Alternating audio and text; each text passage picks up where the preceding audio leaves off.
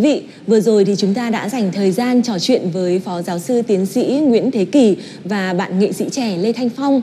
À, và bây giờ à, sau khi chúng ta lắng nghe những câu chuyện ấy thì chúng tôi mời quý vị và các bạn cùng trở lại với không gian nghệ thuật của chương trình ngày hôm nay.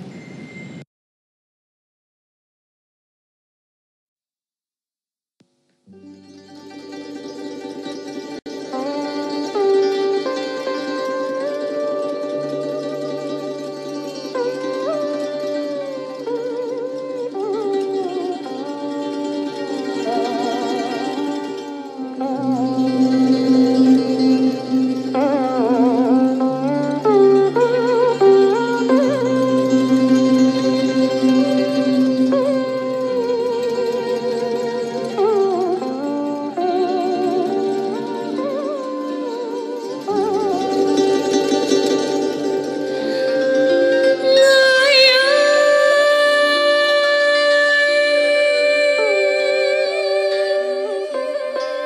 Nước sông lam đêm ngày không mơ cạn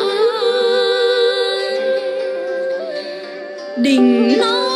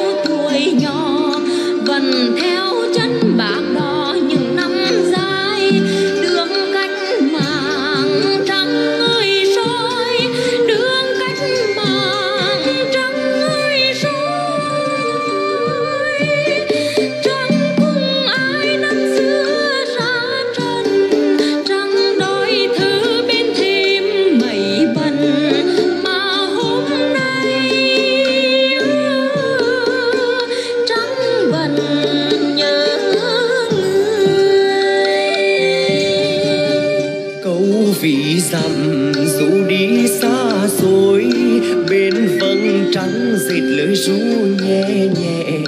Ơi, sông lam chứa chan tình sự nghệ, non hồng ơi, đất mẹ những anh hào câu hát vòng đến tận trời cao, câu hát vòng đến những vì sao. Ngôi